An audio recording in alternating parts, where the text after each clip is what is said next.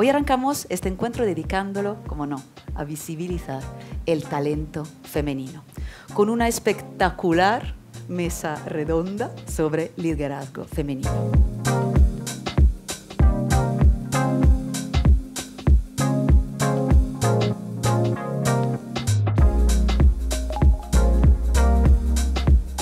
Tener diversidad en sí mismo no da valor, ¿no? Es un tema de justicia social tener pues, mitad de hombres, mitad de mujeres. La, importancia en lo que estamos trabajando muchísimo ahora todos es que eh, en esta inclusión, ¿no? En que, las, eh, en que hombres, mujeres, diferentes generaciones se sientan empoderados, se sientan inspirados, se sientan para, para, para decir lo que piensan y para aportar. Y solo con la inclusión se llega más lejos. Eh, es un mito que no nos ayudamos, por lo menos en el mundo de la empresa.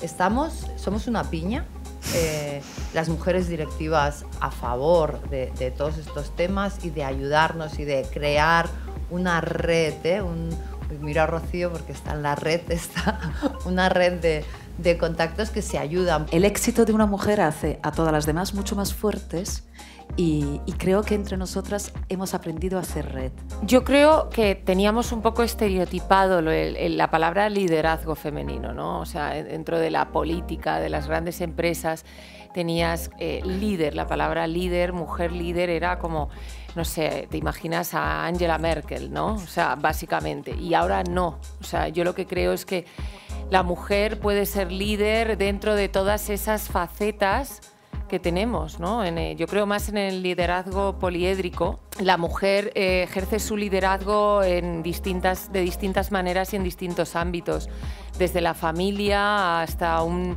en un país subdesarrollado creando microcréditos hasta una empresa maravillosa o eh, encargos políticos. Veo que se puede ejercer liderazgo con los labios pintados, con el tacón en casa con la pantufla y con la, o sea, eh, teletrabajando cuando puedes, llevando tus hijos al colegio, ejerciendo de madre, ejerciendo de, eh, bueno, de pilar de una casa, ¿no? Creo que se puede ejercer liderazgo de muchas maneras. Y luego también merecen especial mención eh, esos referentes más anónimos, ¿no? Que no son tan visibles, como mi madre, por ejemplo, ¿no? Que me enseñó desde pequeña a que yo tenía que luchar por lo que quería. Desde pequeña y bien, yo estaba en un colegio de monjas y es que me quiero ir, quiero conocer mundo, quiero salir de lo que tenéis previsto para mí, ¿no? Que era una carrera de derecho y unas oposiciones.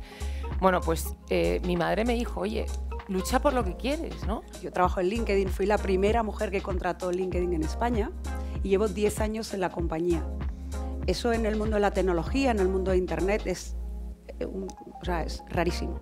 Y yo creo que, que, que vamos a pasar de una cultura competitiva, ¿no? en la que ha estado, en la que hemos, todos hemos crecido, todas hemos crecido, que ha sido muy masculinizada, ¿no? muy, muy relacionada con el género masculino, a una cultura de la colaborativa que está mucho más relacionada con el género femenino. El Ministerio de Economía dice que el 15% del PIB sube cuando lideramos en igualdad y McKinsey dice que cuando las empresas aumentan el 10% en su diversidad en liderazgos femeninos aumenta hasta un 3,5%. Afortunadamente, poco a poco las cosas van cambiando, que el liderazgo es algo natural y es verdad que hay personas que tienen esa suerte, ¿no? que el liderazgo, como la elegancia, le sale de dentro y, nacen con él, ¿no? qué, suerte.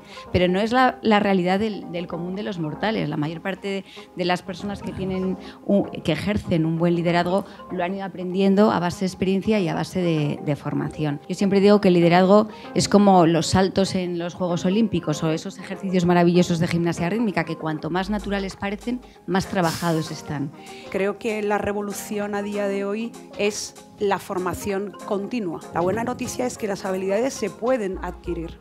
Puedes seguir aprendiendo a lo largo de la vida, con cualquier edad, nunca es tarde. Creo que la verdadera revolución no es que vengamos aquí a hablar de conciliación o de cuáles, cuáles han sido mis retos, sino que vengamos aquí a hablar de lo que somos unas cracks eso también vinculado al síndrome de, la impostora, ¿no? que creo que existe, pero tiene que ver mucho más con, la confianza que tenemos en nosotras mismas, que también nos marca mucho la sociedad y lo, las pautas que, nos dan socialmente, que con nuestra capacidad profesional. O sea, nuestras leyes son un, un marco de actuación impresionante en España y creo que tendríamos que estar orgullosas de ellas. Eh, lo que sucede es que es como si tuviéramos carreteras de primer nivel, pero un parque móvil de 600 de 35 años. Cada vez que una mujer se levanta por sí misma, probablemente sin saberlo ni pretenderlo, se levanta por todas las mujeres.